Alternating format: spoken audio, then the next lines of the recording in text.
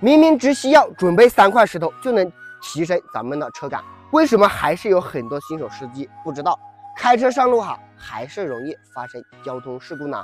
今天哈，你帮我点个赞，我教你使用三个石头，让你快速提升车感，准确做到人车合一。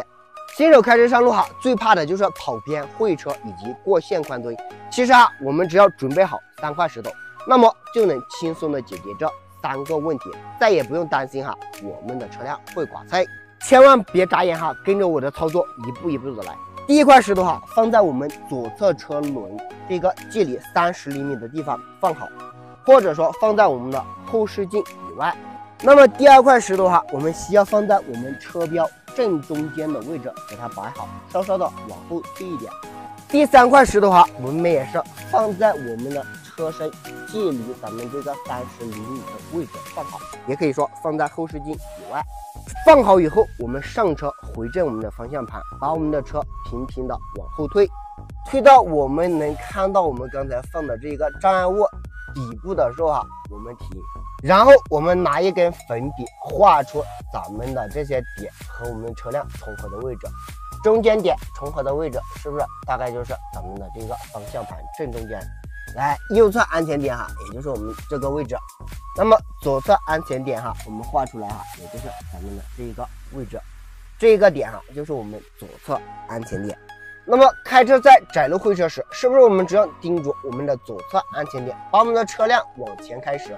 引擎盖和前方障碍物底部重合，障碍物出现在我们左侧安全点以外，回正方向盘，我们的左侧绝对不会刮蹭到咱们左侧的车辆。无论是大车小车哈，只要是车轮底部在我们的安全点以外，那么我们都可以放心大胆的开。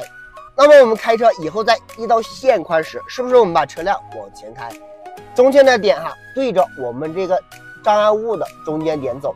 左右安全点是不是分别对应着我们的左右车轮位置？把我们的车辆往前开，当引擎盖和前方障碍物底部重合的时候，我们停。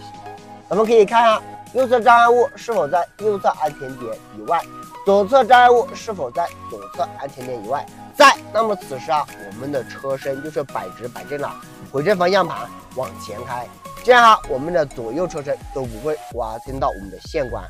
那么靠边停车时不会判断车轮位置，是不是也是用右侧的安全点扫着我们的右侧马路牙子走？来，边走边回正车身。当我们的车身和马路牙子平行的时候，我们停。咱们可以看一下，此时我们的车身和旁边马路牙子的距离也正好是三十厘米。新手朋友只要找出这三个安全点位以后再来开车，相信我哈，你再也不用担心我们的车辆会剐蹭。我车哥如果有用，记得帮我点赞、关注以及分享。今天视频就到这里，拜拜。